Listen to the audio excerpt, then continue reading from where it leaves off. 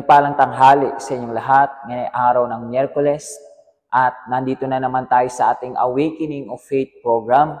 At gusto ko na hikayatin ang bawat isa sa inyo na manood mula sa umpisa hanggang sa huli upang matanggap mo ang pangunawa na gigising sa iyong pananampalataya at magbibigay sa iyo ng dakilang resulta, hindi lang sa mga pisikal na bagay, pero sa lahat, sa iyong ikaliligtas. Kaya nga, gusto ko na mag-focus ka, mag-pay attention ka sa lahat ng pag-uusapan natin. At kung ikaw ay merong uh, tubig dyan, ihanda mo ngayon dahil mamaya sa ating prayer of agreement ay babasbasan niya ni Pastor at kung ikaw din ay merong prayer request, pwede mong ilagay dyan sa ating comment section. At kung meron ka rin Biblia, mas maganda para kapag may binasa tayo sa Biblia mamaya, ay ma-highlight mo sa Biblia at ma-meditate mo sa buong araw na ito. Kaibigan, nandito lang kami. Kung ikaw ay may problema, kahirapan, kailangan mo ng kausap, nandyan yung ating helpline ng ating simbahan, at i-reach out mo kami.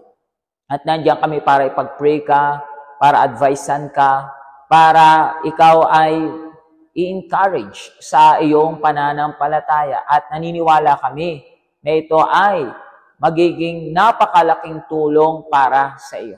Amen? So, gusto ko na tulungan mo rin kami na i-like at share ang ating programa upang sino man makapanood nito ay maging blessed din katulad mo. At gusto ko rin na imbitahan kayo ngayong araw ng Miyerkules, magpunta kayo sa pinakamalapit na Universal Church. At alam ninyo na meron tayong pinag-uusapan every Wednesday, the thief in the night. At malinaw ang ating message na pinapasa sa inyo. Malapit nang bumalik ang Panginoong Isus.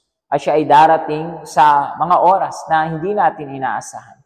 So, yung ating pagpunta ng araw ng Miyerkules sa church, ito ay ating paghahanda sa hindi inaasang pagbabalik ng Panginoong Isus.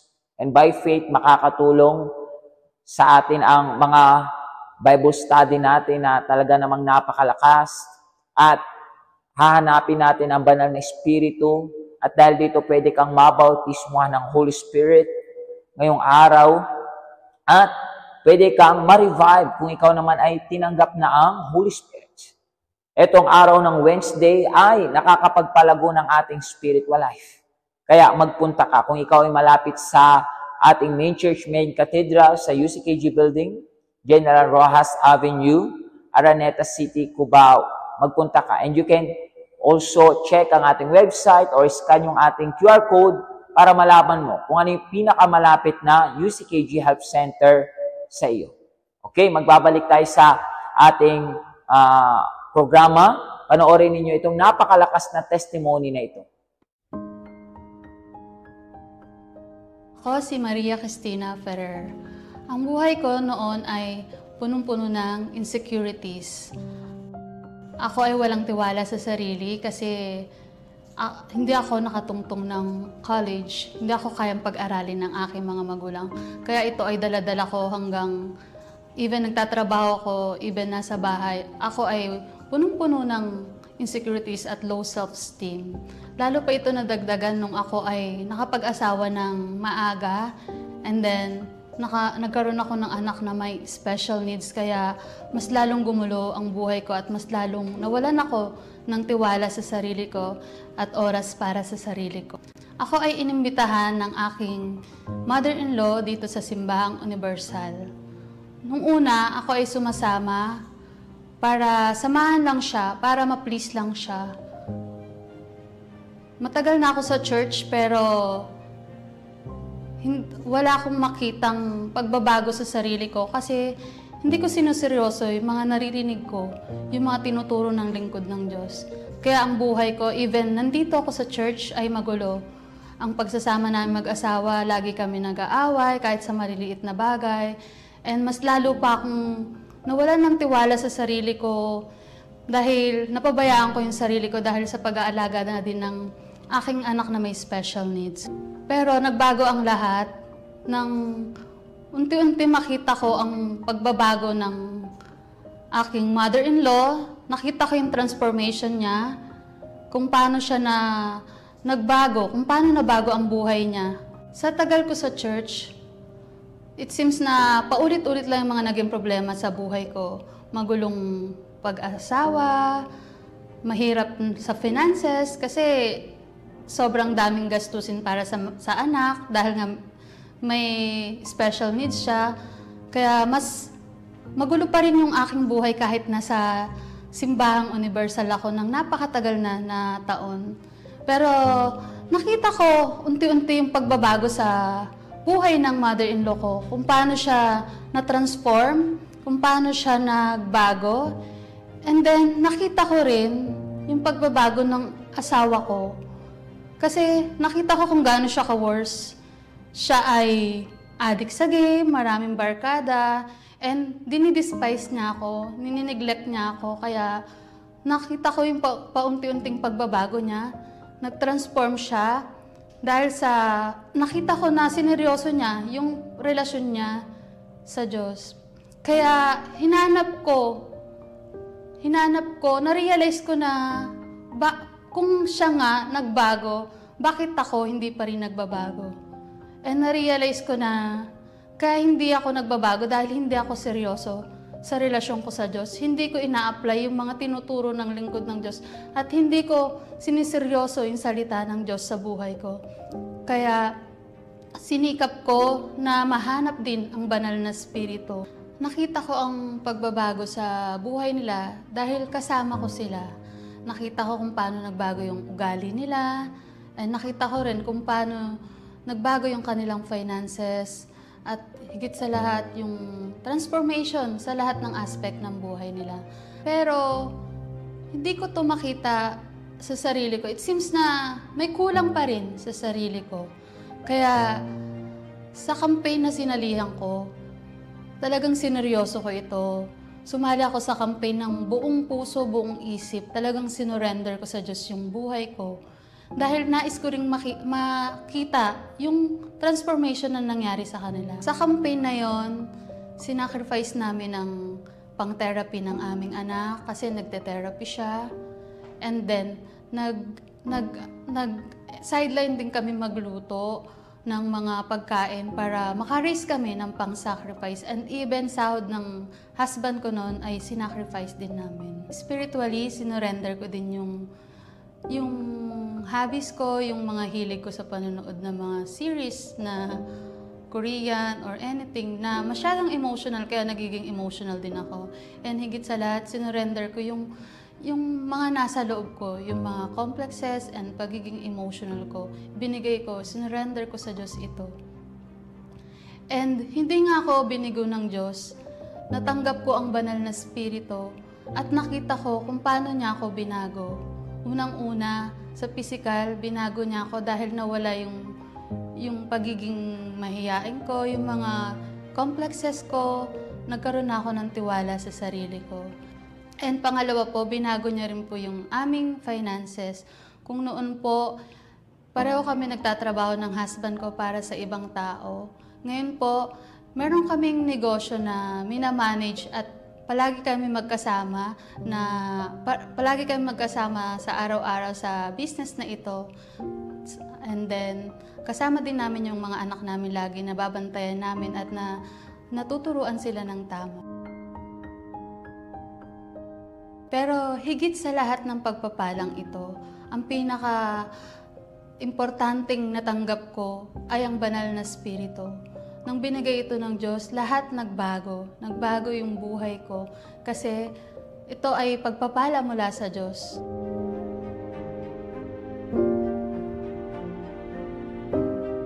Pero higit sa lahat, binago niya yung isip ko. Kasi kung noon punong-puno ko ng negativity, emotional, lagi akong worried, anxious sa mga sasabihin ng ibang tao.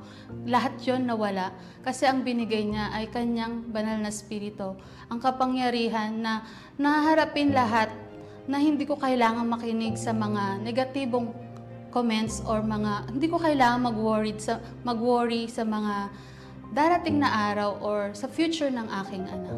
Noon, parte lang ako sa pagpapala ng iba pero ngayon, kasama ko ang tagapagpala. At ito ang Diyos at ang banal na Espiritu.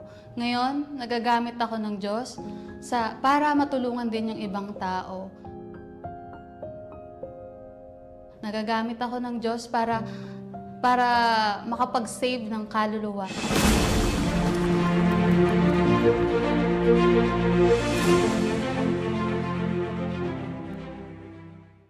Nagbabalik tayo sa ating programa at tumungo tayo sa ating mensahe. Paano nga ba matatanggap ang bautismo ng banal na espiritu? At bakit napakahalaga na matanggap natin ito? Nakasulat sa aklat ng Jeremiah sa chapter 29 verse 11. Basahin natin diyan. For I know the thoughts that I think toward you, says the Lord, thoughts of peace and not of evil, to give you a future and a hope. You see, ang Diyos, iniisip-isip ka niya. At lagi niya itong ginagawa.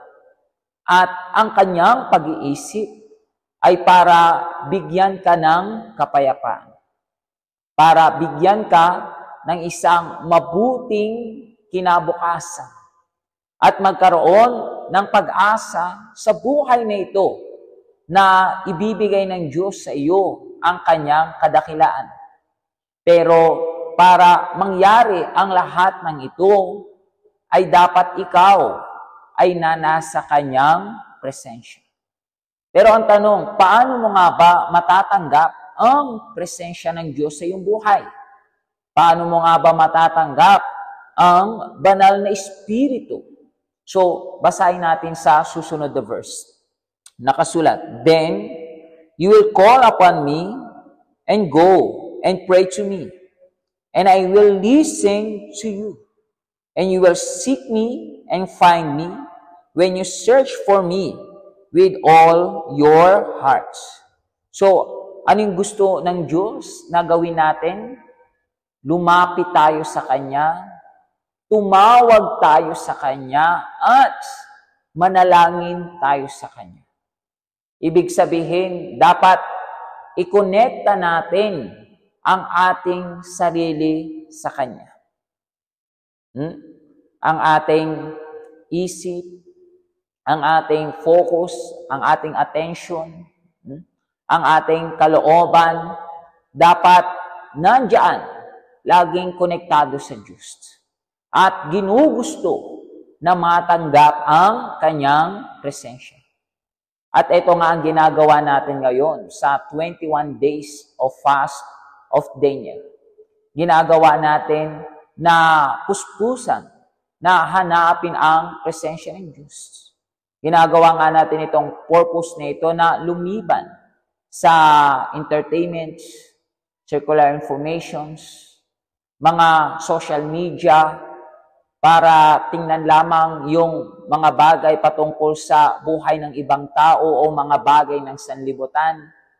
So, ginagawa natin na alisin ang ating atensyon sa mga bagay ng mundo, sa mga bagay patungkol sa ibang tao, ginagawa natin ang lahat para as much as possible makalikom tayo ng oras at panahon para i-focus ang ating sarili sa Diyos at lumapit sa Kanya, manalangin sa Kanya, at hilingin na matanggap natin siya sa ating buhay.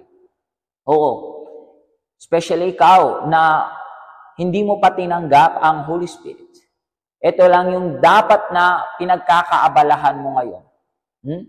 Ito lang yung dapat na ginagawa mo ang lahat para as soon as possible ay matanggap mo na ang presensya ng Diyos.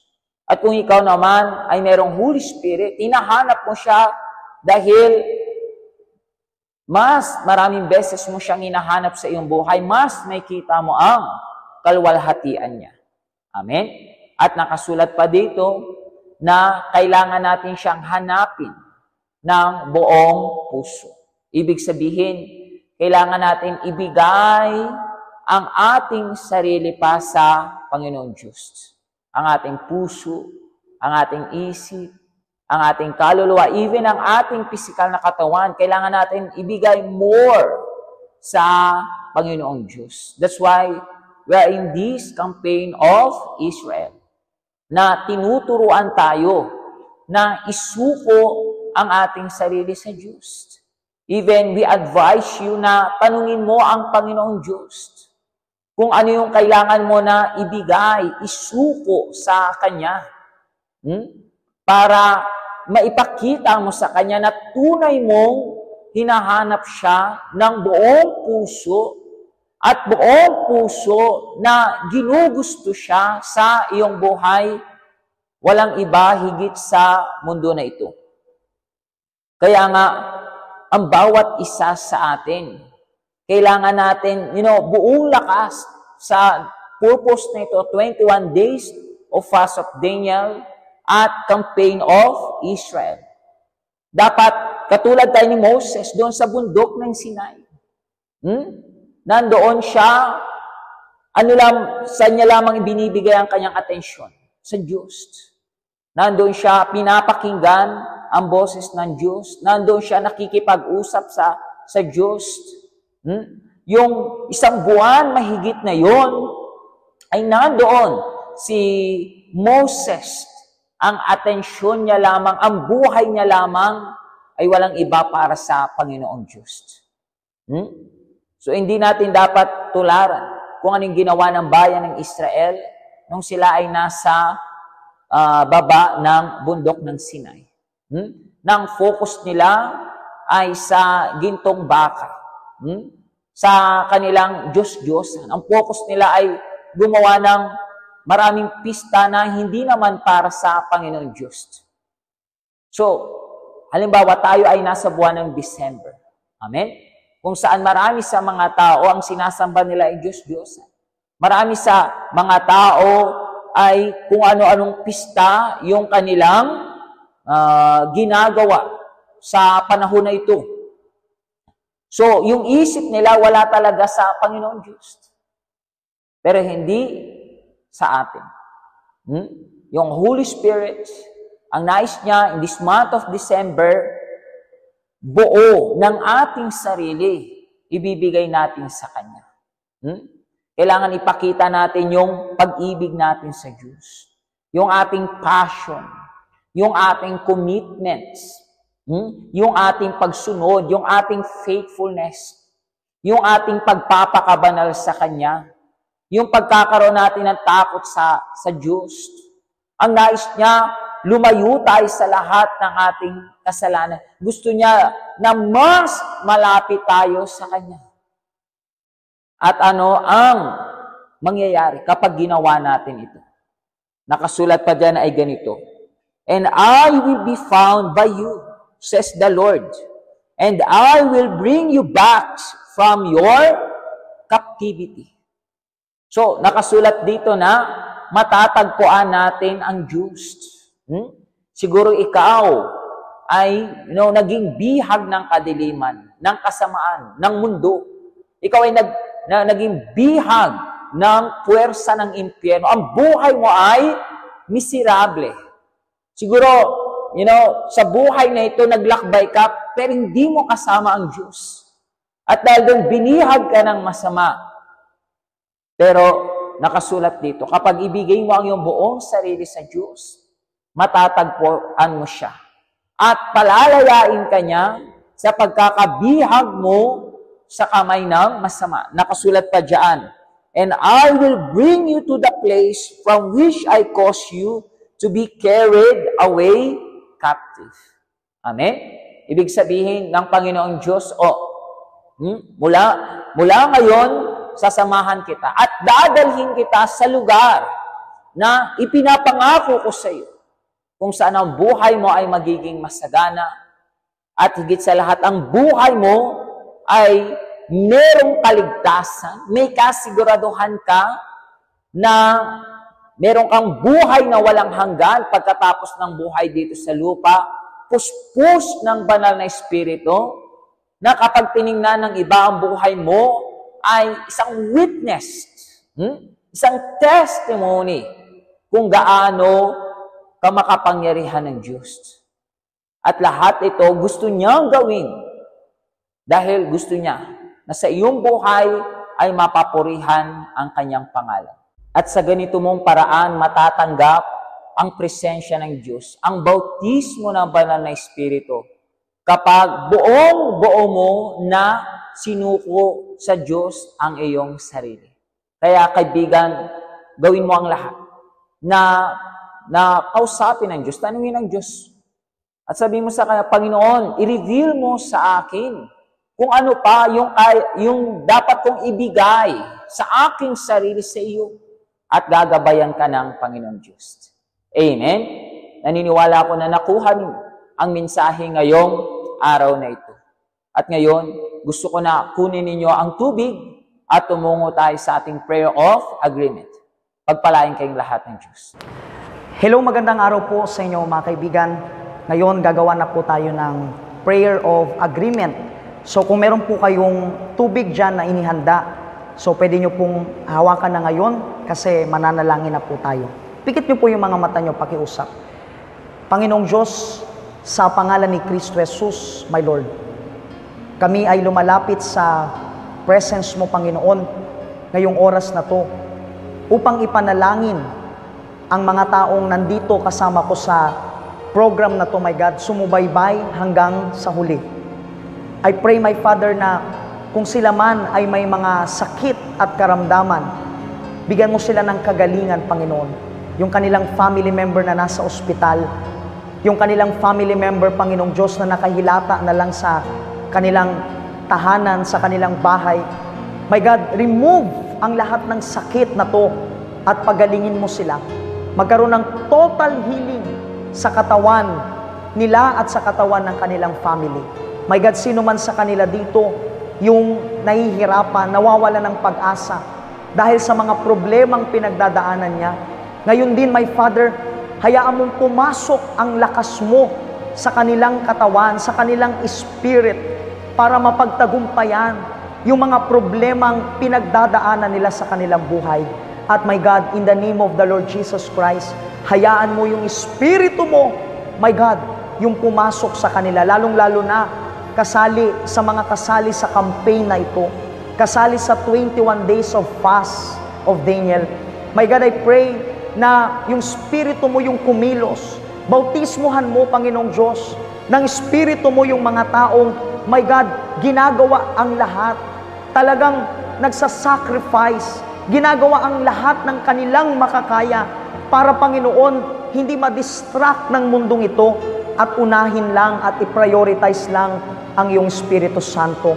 Kaya mga kaibigan, nasaan man po kayo ngayon, tanggapin nyo, tanggapin nyo ngayon ang Espiritu ng Diyos. At sinabi sa salita niya na, salita ng Diyos na kapag nasa isang tao ang Espiritu ng Diyos, nandun na yung kalayaan. So, sa pagtanggap nyo ng Espiritu Santo, tinatanggap nyo yung kalayaan, tinatanggap nyo yung lakas, tinatanggap nyo yung kagalingan, tinatanggap nyo right now yung pag-asa, tinatanggap nyo ngayong oras na ito, yes, yung Espiritu ng Diyos na gagabay at tutulong sa inyo sa pang-araw-araw. Kaya pinagpapala namin ang bawat isa sa inyo. Panginoon, itong tubig na to ay basbasan mo.